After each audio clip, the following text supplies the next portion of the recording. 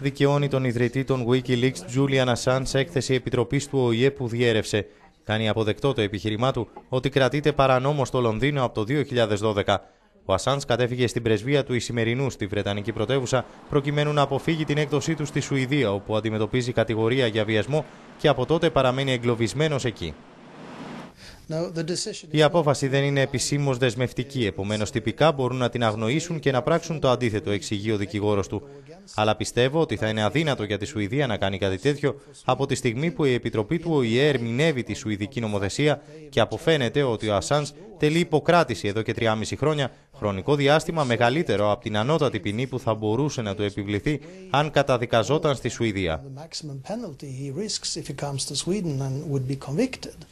Ο ιδρυτής των Wikileaks δηλώνει ότι αν δικαιωθεί περιμένει να του επιστραφεί το διαβατήριο.